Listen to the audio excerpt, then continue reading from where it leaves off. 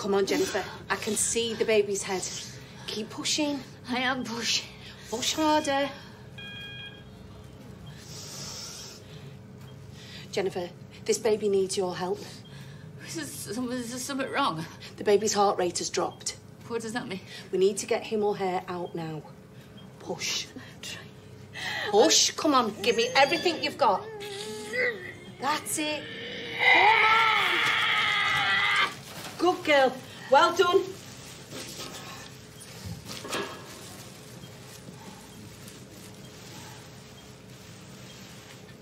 What's happening?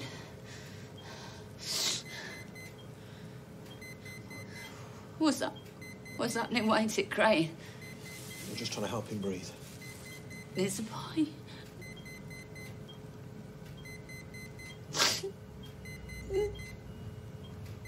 He breathing yet? Is it my fault? Is it something I've done? Oh, God.